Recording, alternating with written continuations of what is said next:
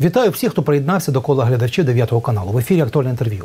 Вже понад тиждень з 22 листопада мешканці чотирьох міст Павлограда, Першотравенська, Тернівки та Синельникова мають проблеми з водопостачанням. Державне підприємство Дніпро Західний Донбас знизило тиск подачі води, через що у кранах мешканців рідина ледь тече. Мешканці Синельникова скаржаться, вода ніби є, проте напору не вистачає ні аби увімкнути пральну машину, ні для котлів автономного опалення. Дитячі садки та школи працюють у режимі скороченого дня, а ті установи, що не мають змоги набирати воду, заздалегідь не працюють. Ба більше у Синельниково з 27 по 29 листопада зовсім відключили водопостачання, що є порушенням закону.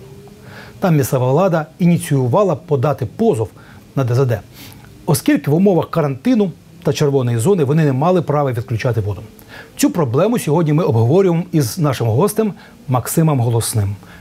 Добрий вечір, пане Максиме. Добрий вечір. Е, ну, у вас дуже великий досвід е, і управління, е, і політичний. Ну, як ви вважаєте, е, чому люди стали заручниками такої ситуації? Кожна проблема має прізвище, ім'я і по батькові. Проблема реально не нова. На моїй пам'яті загострення цієї проблеми було за часів Петра Олексійовича Порошенка. Саме ця проблема відіграла, я вважаю, основний етап в необранні президента Порошенка та його команди на минулих виборах. Коли прийшла нова команда е, президента Зеленського, я особисто був здивований е, тим підходом, який вони продемонстрували. В аспекті реструктуризації цієї ситуації, тому що борги накопичувалися десятиріччями, е, вони були поточні, вони були непоточні. Що з ними робити? Ну толком ніхто не знав. Е, Якось домовлялися, і жителі Дніпропетровщини пам'ятають, що в новинах за часів Петра Порошенка ой відключають Кам'янське, ой відключають Павлоград, Синельникова під загрозою відключення те чи інш, той чи інший населений пункт. Було таке? Ну, Було. постійно, да. Все це стабілізувалося а, з приходом нової команди президента, але не надовго. Сьогодні проблема повернулася. Оскільки я казав і кажу, що кожна проблема має прізвище ім'я і по батькові, ми можемо подивитися, хто керував областю за часів Петра Олексійовича Порошенка і хто керує зараз. Це одна і та сама людина. Тобто проблеми треба вирішувати на найвищому рівні. Проблема повертається персонально. Персональна є персональна відповідальність. Чим ви займалися весь минулий і цей рік? Що проблема зненацька з'явилася? Ні. Треба говорити правду. А правда полягає в наступному: жителі Павлограда, Синельникова скаржаться. А чи скаржаться жителі непідконтрольних територій, куди йде водопостачання з того самого е, Дніпро-Донбас? Да, державного каналу. Ми щось про це чули? Ні. Вони платять краще за жителів Синельникова чи Павлограда. Я щось в цьому дуже сильно сумніваюся. СБУ має перевірити під час війни економічної кризи та епідеміологічної ситуації, яким чином постачається, яким чином оплачується вода з Дніпро-Донбас на тимчасово окуповані території. Якщо люди не платять, це ж не те, що вони не хочуть платити. Загальна ситуація в країні така, що люди виживають. Так, вони вони не не можуть, да. можуть ну, платити більше, ніж вони платять. Тому що завдання обласної державної адміністрації це комплексний підхід, реструктуризація цієї проблеми. На моїй пам'яті в е, розрізі пілотного проєкту було місто Кам'янське. Коли у нас казали, ой, область забрала собі водоканал з Кам'янського собі там на баланс, вони там щось роблять. Так от з того моменту, як забрали, жодної новини про те, що Кам'янське на межі відключення від водопостачання, ні я, ніхто інший не чув. Ну, так. Тобто потрібен комплексний е, підхід, е, по- по- потрібен план реструктуризації заборгованості. Потрібні гарантії, тому що з одного боку Дніпро-Донбас не може працювати безоплатно. Це державне підприємство, там є люди, там є соціальні гарантії, їм теж треба якось виживати. І є ситуація, коли голови органів місцевого самоврядування відмовились е, приймати участь в реструктуризації, яка була на початковому етапі з приходом за команди. Тобто, вся відповідальність в тому числі лягає на них. Якщо вони сказали ні, ми не хочемо реструктуризувати е, свій водоканал, там Павлоград, Синельникова. Ми залишаємо у себе на балансі, то вся відповідальність, в тому числі і кримінальна, лягає на них. Тобто, якщо ви не змогли за декілька років дати ладу, реструктуризувати свої борги поточні і минулорічні, підписати меморандум і дотриматися плана погашення заборгованості, це ваші проблеми. Коли я читаю в новинах, що е, голова обласної державної адміністрації е, організовує дисциплінарне стягування з е, голови КП. Е, Водоканал або Павлоград, або Синельника, вибачте, на кого розраховані ці новини? Е, Жителям, е, звичайним людям від цього не холодно, не жарко. Розбирайтесь між собою. Людям потрібна вода. Вода це основа життя. Якщо ми кажемо, що у нас є дестабілізація ситуації на підконтрольній території, ну реально, це дестабілізація, це ненормальна робота, коли дитячі садки, школи, амбулаторії, так. больниці не працюють. Хто так має діяти? Так має діяти внутрішній ворог. Краще ніхто не спрацює. Це цілеспрямована диверсія.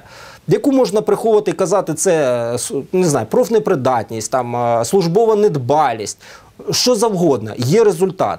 Результат він такий, що люди сьогодні на підконтрольній території страждають. Інформації е, про те, що хтось страждає на непідконтрольній території з приводу водопостачання, ніхто не чує. Аби це було, то вже всі міжнародні інстанції про це говорили. І я знов таки, як починав, так і закінчу. У мене є великі сумніви, що люди на непідконтрольній території платять краще, чим е, жителі Синельникова та Павлограда. У мене питання, пане Максиме, а як ви вважаєте, як вийти з цієї ситуації? Я е, розумію, що е, колись була така ініціатива, коли у обласній раді працював олійник, тоді з'явилася схема, щоб передати в управління обласній раді місцеві канали, так ну водопостачання, зробити такий концерн. Да? І я розумію, що і державне підприємство Західний Донбас, канал, да, він теж е, повинен був туди е, увійти. Як ви вважаєте, як виходити з цієї ситуації? По-перше, ми маємо заслухати звіт голови обласної державної адміністрації про пророблену роботу з вирішення цієї проблематики. Послухати, чим він займався минулому році і в цьому році.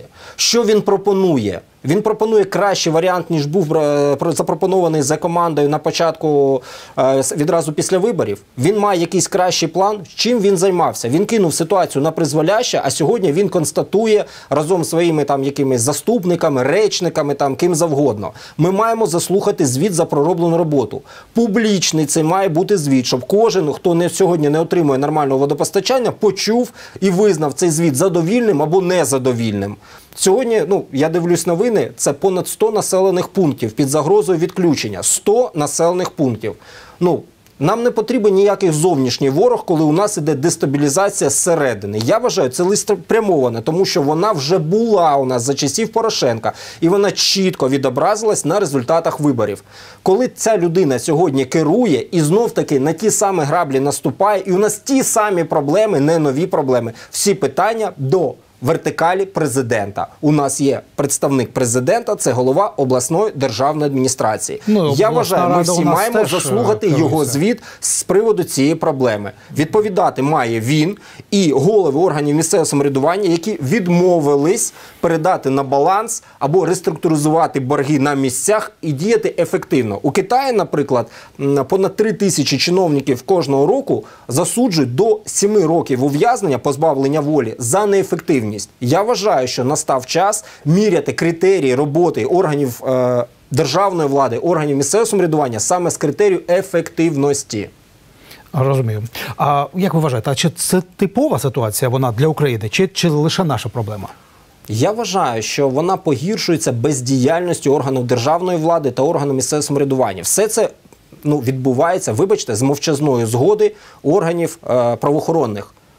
Має бути заява голови СБУ Дніпропетровської області, прокурора Дніпропетровської області, голови МВС, тому що порушується що конституційні права громадян. Іде цілеспрямована дестабілізація всередині країни. У нас область, вибачте, на межі е, з тимчасово окупованими територіями. Який приклад ми показуємо? Ну, куди ми рухаємося? Що робити, який план виходу з кризи, ми маємо послуш... послухати на публічному звіті або публічному брифінгі керівників органу державної влади і керівників органу місцевого самоврядування окремо. Кожен має прозвітувати, чим він займався останні декілька років. Дякую, що завітали до нашої студії, що відповіли так е, емоційно на наші питання. А, я нагадаю, що сьогодні у у нас у гостях е, був Максим Голосний. На сьогодні у нас все. Бережіть себе і до зустрічі в ефірі 9 каналу.